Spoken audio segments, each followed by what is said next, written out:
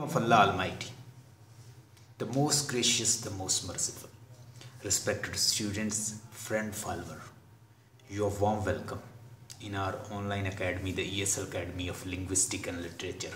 Our contact number is 03056319464. Subscribe, like our channel, the ESL Academy.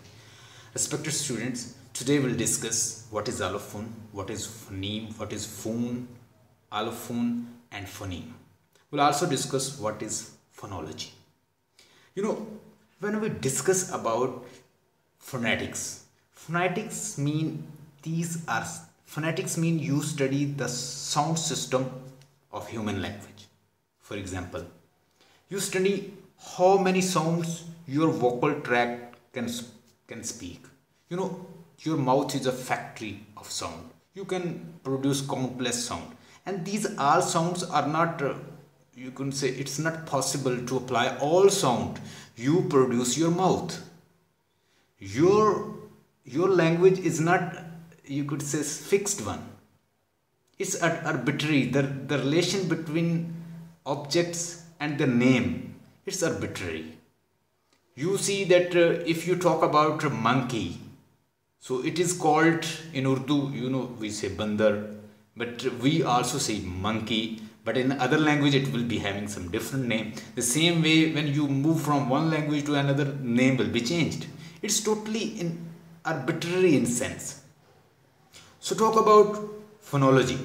Phonetics just like you know that uh, it collects data raw information raw material. Phonetics get raw material and phonology cooks it the difference between phonetics and phonology is generality and specification. Phonology, phonology is a language specific. It's related to specific language. You can apply phonetic knowledge, phonetics, the knowledge of phonetics and its study on a specific knowledge when you apply same knowledge on specific knowledge language it will be called phonology when you study phonology it means you are going to study certain language a specific language and uh, you are going to classify its sound phonemes allophones and vowels and consonants in a certain in a specific language. It's a language specific. It's confined in simple word in very simple word i would say phonetics is a word and Phonology is country. Phonology in phonology is in the phonetics.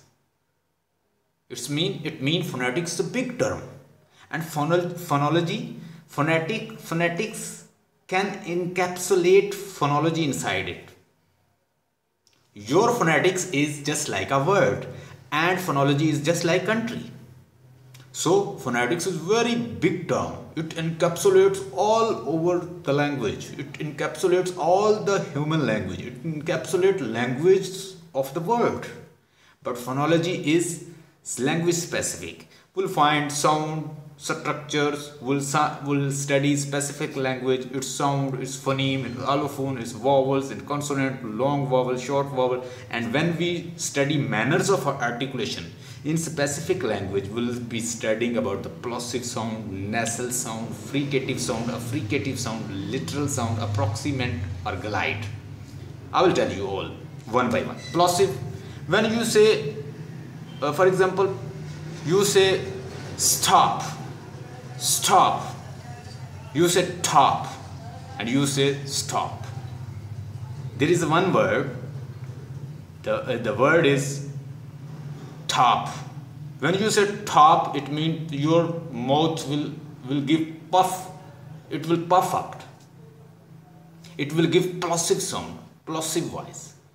So wind just uh, just air will come through the, in a plosive form.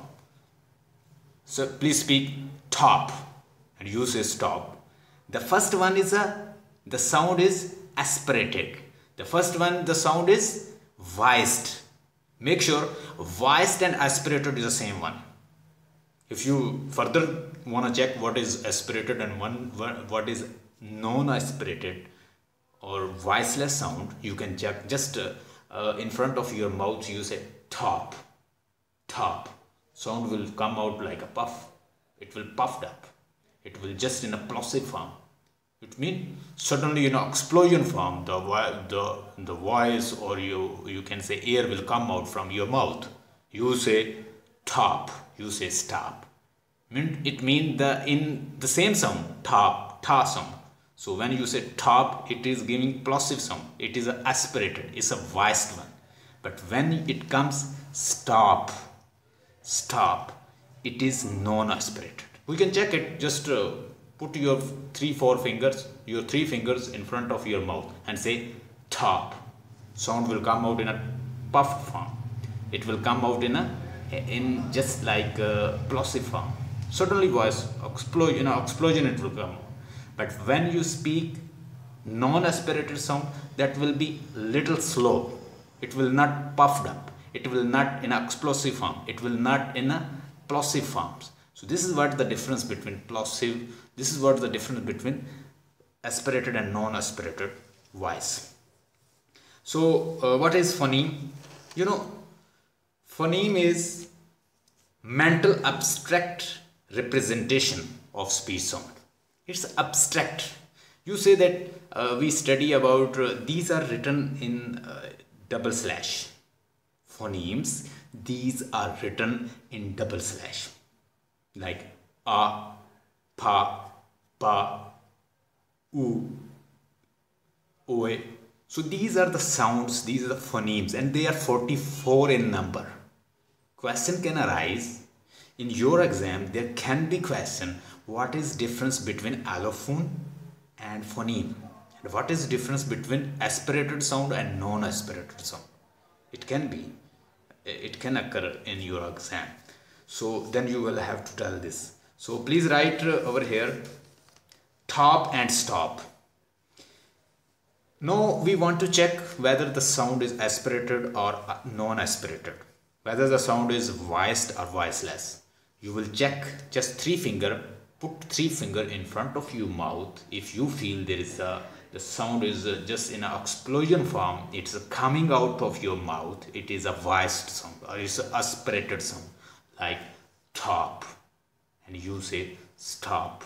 Stop and top there is a great difference. It means the first one is aspirated and second one is non aspirated so the t so here the uh, the, the top and stop, it is allophone.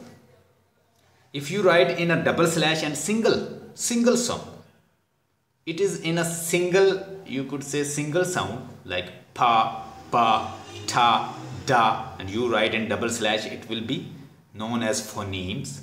But once you write uh, just like a one word like top, stop, keep, deep, these will be allophones and allophones you know that uh, allophone can represent each uh, sound can represent a uh, different sound. I mean to say phonemes can be all together can be collected. If number of phonemes are collected they will be known as they are written in uh, just like brackets. It will be known as allophone like keep deep. Keep and deep are allophones. When we we we just put it in bracket so please write it down. When you write allophones, it is written in the form of word. Like one allophone may have many many phonemes in it, like keep.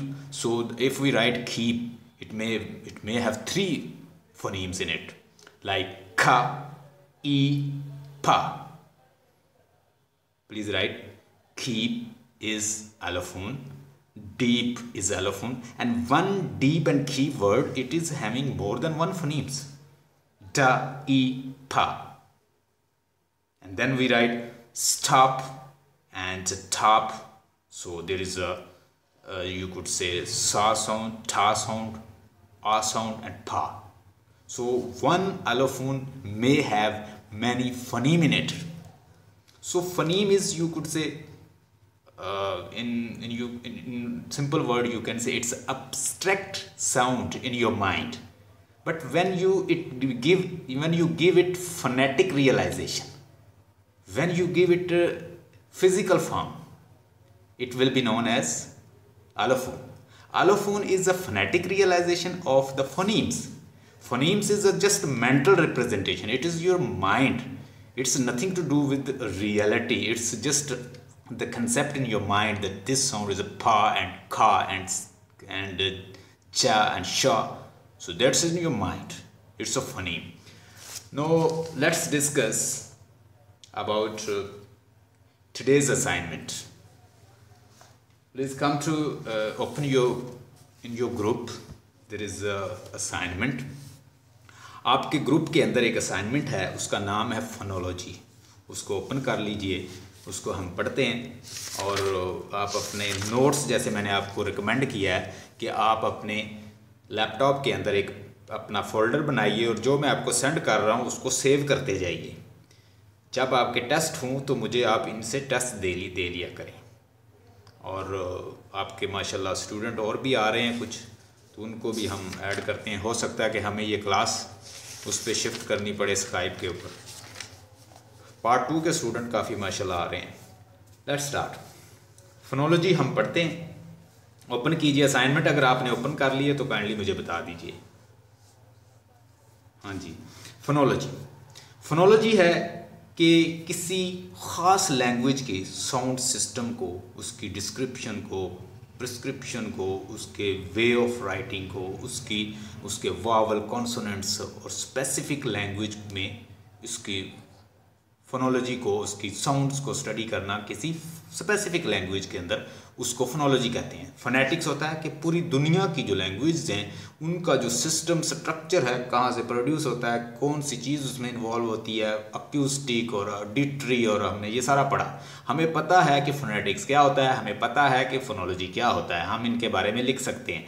Phonetics पूछ ले तो हम phonetics को define करेंगे और phonetics से related उसका जो सिस्टम इन्वॉल्व हैं, जो चीज़ें, वो हम डिफाइन करेंगे। अगर मैनर ऑफ़ एक्सपल मैनर ऑफ़ आर्टिकुलेशन पूछ ले, या ऑर्गन्स ऑफ़ स्पीच पूछ ले तो वो भी हमें पता है कि उसमें कौन कौन से ऑर्गन्स इस्तेमाल होते हैं। अगर हमसे वो manner manner of place of articulation पूछ ले तो हमने वो वो जगह जहाँ से साउंड निकलती है, वो बताएँगे।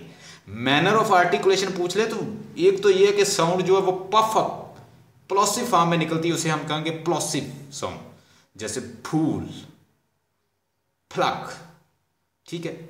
फॉल फॉल फॉल एक नेम है ना, हम किसी को कहते हैं फॉल तो ये भी एक प्लॉसिव साउंड में निकल रही है। हमने उनकी मसाले दे दे के उनको, उसको डिफाइन कर देना है। नेसल साउंड जो नाक से साउंड निकलती है, जैसे न, म, इंक, ये साउंड नेसल साउंड है। फ्रीकेटिव जो साइडों से निकलती है।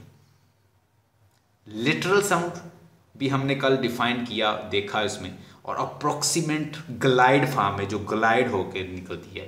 ग्लाइड मीन कि जो जहाँ से हमारा फ्रेशस फ्रेशस तो उसमें एक ग्लाइड बनती है। यानी जहाँ हमारी साउंड जो है, वो एक ग्लाइड फार्म में निकलती है, वो कौन कौन सी साउंड है, वो सारी हम वन बाय वन उनको एक्सप्लेन कर देंगे। लेकिन फोनोलॉजी का पूछ ले तो फिर हमने फोनोलॉजी का डिफाइन करना है कि फोनोलॉजी क्या है फोनोलॉजी के अंदर क्या क्या चीज़ें हैं अलोफोन्स क्या हैं फोनीम्स क्या हैं फोन्स क्या हैं इसका सिस्टम क्या है? किसी लैंग्वेज के अंदर पूछ ले। एक सेगमेंटल फोनोलॉजी होता है और एक सुप्रा सेगमेंटल फोनोलॉजी हम इन दोनों को डिफाइन करेंगे। एक डायक्रॉनिक फोनोलॉजी होता है और एक सिंक्रोनिक फोनोलॉजी होता है। मैंने कहा सिंक्रोनिक का मतलब ये होता है, ये फोनेटिक्स के अंदर भी है।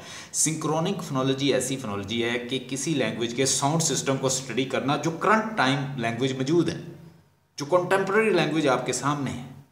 और डायक्रॉनिक के ख़ास वक़्त से एलिजबेथन एज से लेके रोमांटिक एज तक रोमांटिक एज से लेके मॉडर्न एज तक मॉडर्न एज से लेके पोस्ट मॉडर्न एज ये ख़ास पीरियड की टाइम लैंग्वेज का जो ड्यूरेशन है उसके फोनिक सिस्टम जो है उसको स्टडी करना डायक्रोनिक कहलाता है। तो आप इनको सिंपल फॉर्म में अपने वर्ड्स में भी लिख सकते हैं। अगर नहीं लिखना आ रहा तो आप आज की जो असाइनमेंट है इसको पढ़ के भी लिख सकेंगे।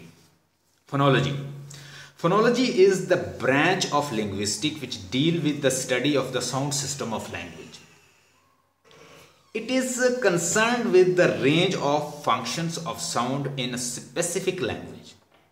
Phonetics and phonology are concerned with the phonetic or phonology वो कहता है concerned with the study of speech and more particularly with the dependence of speech on sound. Sound के ऊपर डिपेंड करता है। अगर आप साउंड साउंड नहीं है तो आप फोनेटिक्स फोनेटिक्स तो नॉलेज ही साउंड का है। In order to understand the distinction between these two terms it is important to grasp the fact that the sound is both a physical and mental phenomena sound जो है, वो mental phenomena भी है physical भी। मैंने आपको बताया कि फनीम्स जो है, वो आपके माइंड में है कि ये साउंड फा है, ये बा है, ये डा है, ये खा साउंड है। ख ग श छ ये साउंड कौन कौन सी हैं? ये आपके माइंड में है। इसको कहते हैं, ये आपकी क्या है? अब्स्ट्रैक्ट अब्स्ट्रैक्शन है आपके माइंड के अंदर। लेकिन जब आप आलोफोन की शक्ल में लिख देंगे डबल वो ब्रैकेट के अंदर तो वो फिर क्या आलोफोन्स बन जाएँगे। और एक आलोफोन जो है, वो मैनी फोनीम्स अपने अंदर रखता है। जैसे खीप लिखते हैं हम। खीप डीप खीप एंड थीप तो डा ई फा ये तीन साउंड उसके अंदर आ गई। ठाप, ठा, आ, फा। तीन साउंड उसके अंदर आ गई। यानी फनीम जो है वो आलोफोन के अंदर इकट्ठे हो जाते हैं। आलोफोन्स जो हैं वो ब्रैकेट्स के अंदर लिखे जाते हैं। फोनीम्स जो हैं वो ऐसे डबल स्लैश जो होती है टेडी सी स्लैश जो होती है बैक स्लैश इसके अंदर इसको इंकैप्सुलेट किया जाता है।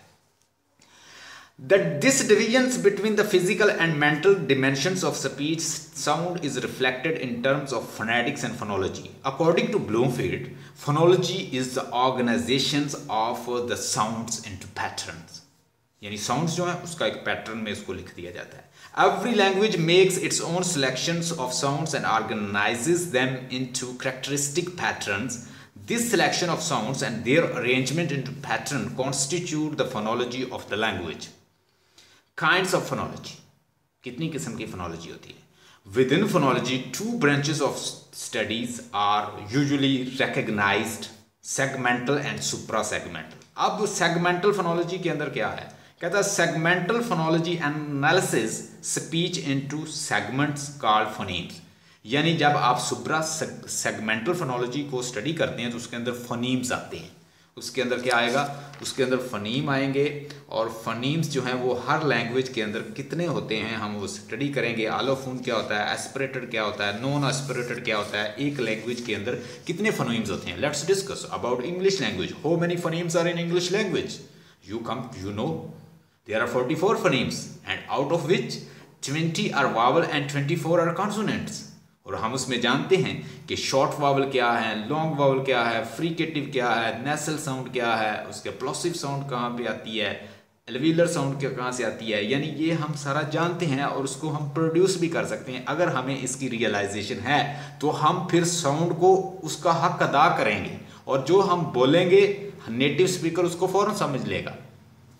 देखिएगा फनीम्स फनीम क्या है? मैंने अभी आपको डिफाइन किया कि फनीम्स जो है वो Mm, ये स्लैश के अंदर लिखे जाते हैं और ये एक एक साउंड रखती है अपनी। इसकी अलग अलग साउंड होते हैं, लेकिन आलोफोन में ये इकट्ठे आते हैं एक वर्ड की फॉर्म में। Most linguist until recently at least have regarded the phoneme as one of the basic units of language but phonemes in purely physical terms यानी कुछ कहते हैं कि ये एक अब्स्ट्रैक्ट टर्म है, कुछ कहते हैं ये एक फ़िज़िकल है। एनी हो ये एक मेंटल रिप्रेजेंटेशन है अब्स्ट्रैक्ट मेंटल रिप्रेजेंटेशन है, जो इंसान के माइंड के अंदर होता है। आप इसे जितना भी याद करने की कोशिश करें, लिखने की कोशिश करें, ये नहीं याद रहते पर आपको जस्ट उनकी साउंड का पता होना चाहिए।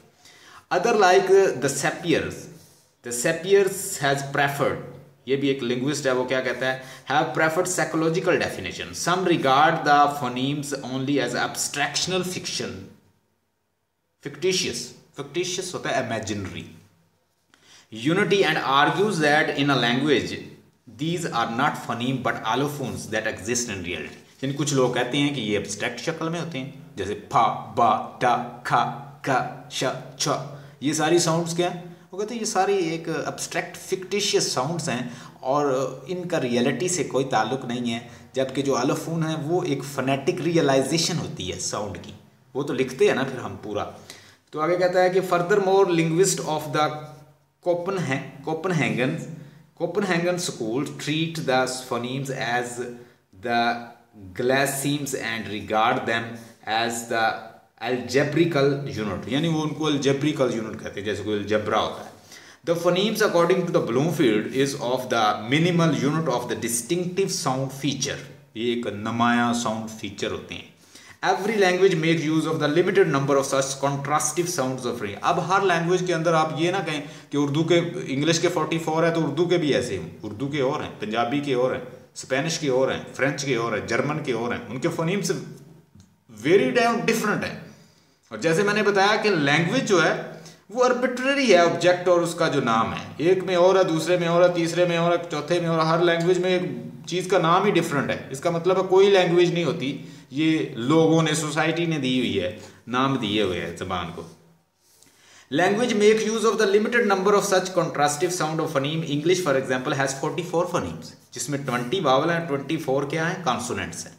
फ्रेंच जो है, उसके थर्टी फोर जर्मन के फोर्टी सिक्स फनीम है। स्पेनिश के 24 इटालियन के 49 ये सारे याद कर लीजिएगा, तीन चार याद कर लीजिएगा। 49 जैपनीज के 107 और चाइना में 422 फनीम्स होते हैं सेट्स होते हैं। अरबिक जो है has 28 Urdu has 37 Punjabi has 35 10 vowels हैं 25 कॉन्सोनेंट्स हैं। Saraiki has 42 phonemes Sindhi has 62 Pashto 44 and Hindi 38 28 consonant होते हैं हिंदी में और 10 जो हैं वो वावल्स होते हैं। From this data it is a clear that each language has different phonemes therefore phonology of each language is different अब जितनी भी लैंग्वेज आपके सामने मैंने डिस्कस की हैं, ये बताई हैं इंग्लिश के तो 44 फनीम है, जिसमें 24 कॉन्सोनेंट और 20 वावल हैं, जबकि हमने दीगर लैंग्वेज को देखा, उनमें डिफरेंट फनीम्स हैं। और ये फनीम्स जो हैं हाँ जी प्लीज़ बोलिए।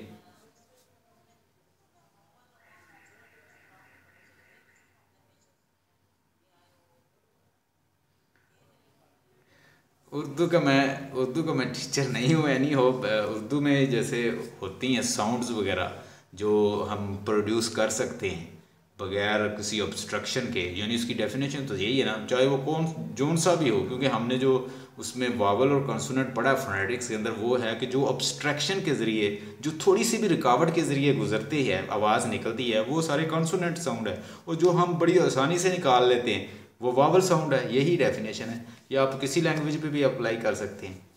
आप देख लें, अगर वावल आप उर्दू में देखें कि कौन सी ऐसी साउंड है जो आप बगैर किसी अब्स्ट्रक्शन के निकाल लेते हैं। जैसे इसमें तो हम जैसे कहते हैं जैसे वी की साउंड है ए ई आई ओ यू तो जो साउंड एज वावल साउंड होगी, वो हमारे बगैर किसी रुकावट के स्ट्रक्चर के बगैर ऑब्स्ट्रक्शन के मुँह से निकल जाएगी। And the sound which is क्योंकि ये साउंड की स्टडी होती है मोस्टली लैंग्वेज तो है ही स्पीकिंग का नाम, पहले स्पीकिंग ही होती है। तो इसलिए हम देखेंगे कि जो, जोन सी भी लैंग्वेज है, जिसमें हम आसानी से अल्फाज निकाल रहे हैं, वो सारे वावल हैं, और जो ऑब्स्ट्रक्शन के साथ निकल रहे हैं, वो कॉन्सोनेंट है। आगे देखिएगा। From this data it is clear that each language has different phoneme her language के डिफरेंट फनीम्स हैं therefore phonology of each language is different her language की जो फोनोलॉजी है, वो डिफरेंट है. उसकी फोनोलॉजी और हो सकती है. यानी जिस तरह से हम इंग्लिश को वैल्यूएट कर रहे हैं, हो सकता है उसकी कोई और हो. जैसे उनके फनीम्स भी ज़्यादा हैं. आप देखिए, यहाँ पे एक लैंग्वेज है चाइनस चाइनीस लैंग्वेज में फोर ट्वेंटी टू फनीम्स है, जबकि इंग्लिश में हमारे पास ओनली फोर्टी फोर है। सारे फनीम्स। फनीम्स याद रखिएगा लेटर्स और होते हैं और फनीम और होते हैं। लेटर है ए ई आई ओ यू ये तो लेटर है ना। अल्फ़ाबेट है ना इंग्लिश अल्फ़ाबेट वो तो पाँच हैं। लेकिन उसको जब हम साउंड के लिहाज से एवेल्यूएट करेंगे तो वो कुछ और होगा। आप अगर मोस्टली इंटरव्यू में जाएँ एस एस इंग्लिश के तो आपसे वो ज़्यादा क्वेश्चन ये करते हैं। वो कहते हैं जी आप बताइए how many sound are in English अब आपको अक्सर लोगों को पता है साउंड कौन, वो हैरान हो जाते साउंड कौन, क्या है? भाई फोर्टी फोर साउंड है। कितनी कंसोनेंट हैं? ट्वेंटी फोर हैं। कितनी वावल हैं? ट्वेंटी हैं। ठीक है जी। अगर आप वो पाँच पे ही अटके रहे, पाँच तो वो तो अल्फ़ाबेट वो तो लेटर है उसके। वो भी वावल्स हैं। देखिएगा from this data it is clear that each language has different phonemes therefore phonology of each language is different आप जोन सी लैंग्वेज स्टडी करोगे, आपको उसका वावल और कॉन्सोनेंट आपको सिखाएँगे। वावल कॉन्सोनेंट को सीखे बगैर आप लफ्ज़ों को प्रोनाउंस नहीं कर सकते। आगे देखिएगा। Phonetics phonemes are contrastive segment I hope कि आपको जो फनीम और आलोफोन का जो डिफरेंट डिफरेंस है, ये आपको पता चल गया होगा। ये खासा कम्प्लेक्स है, बच्चों को पता नहीं चलता। मैंने सिंपल फॉर्म में आपको बता दिया simple wording phonemes are contrastive segment phonemes never phonemes दोबारा फिर सुन लीजिए। फनीम है कि जो 44 साउंड की हम उनको स्लैश के अंदर वो जो डब, डबल स्लैश के अंदर फा बा ठा खा छ ग स च ये सारी साउंड जो हम अलहदा अलहदा से 44 हमने जो बनाई हुई हैं चाहे वो वावल हैं या कॉन्सोनेंट वो सारे फनीम्स हैं।